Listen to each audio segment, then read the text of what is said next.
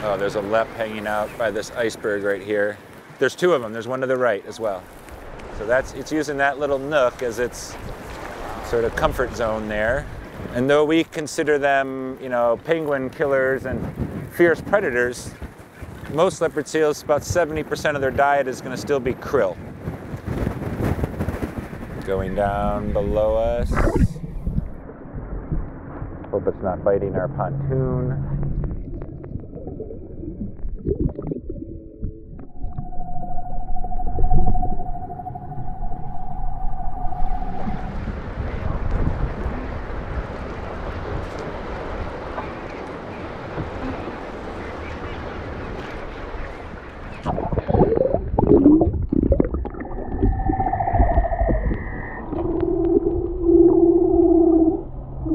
These vocalizations that we're hearing are actually coming from leopard seals, and uh, it's remarkable because we're hearing them above water. Hear that? Yeah. Yep.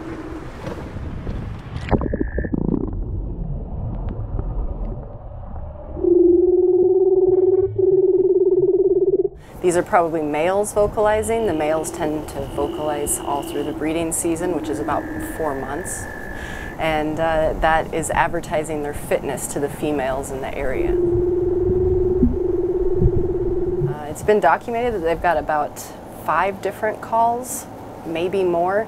Uh, they also think that it's a territorial display between males. Uh, it's kind of a new thing, though. They're um, starting to learn a lot about leopard seals through acoustics.